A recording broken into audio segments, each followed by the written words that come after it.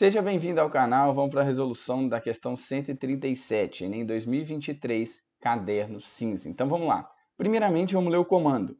Nesse quadro, a parte da lua escondida atrás da torre mais alta do castelo pode ser representada por. Repara que só de ler o comando a gente já sabe o que, é que ele quer. A gente tem uma lua escondida aqui nesse quadro e eu vou marcar exatamente essa lua escondida nesse quadro.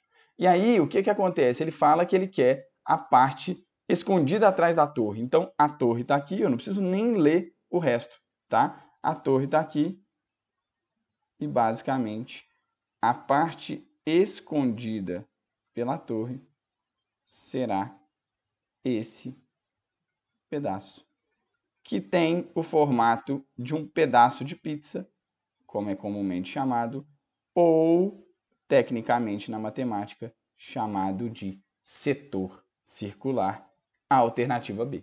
Repara que ele fala aqui que é um triângulo equilátero, beleza, para a gente saber que esse lado é igual a esse, e dá um monte de informação aqui para contextualizar, tá? Mas a importância está no comando, e só de ler o comando você fazia essa questão em um minuto. Tranquilo? Então, muito obrigado, continue acompanhando o canal, se inscreva e acompanhe a playlist Enem 2023.